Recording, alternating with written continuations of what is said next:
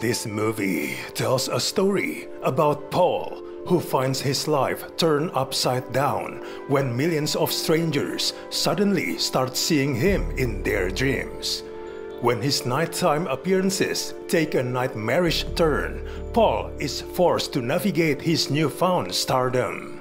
First of all, this movie has an interesting premise. However, the end product leaves much to be desired. Without a doubt, the best part of the movie is the lead actor. Nicolas Cage always commits to what he's doing. Unfortunately, the narrative has no purpose. It's a heavily metaphorical, but it misses the mark on its social criticism.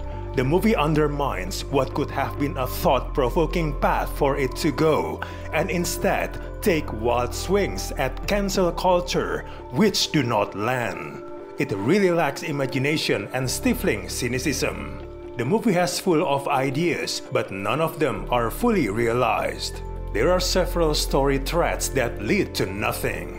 The world building is very weak. While the internet is said to be going wild over Paul, there's little on screen to showcase the phenomenon. The movie offers an intriguing premise in the first hour. However, it burns off possibilities and interest with its grisly plot developments that make for increasingly wonky metaphors. It degrades the story into a shallow and reactionary attack against cancel culture.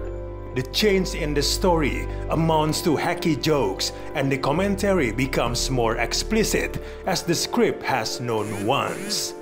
The characters become flat observers, the humor stays for too long, and the phantasmagorical mystery soon evaporates.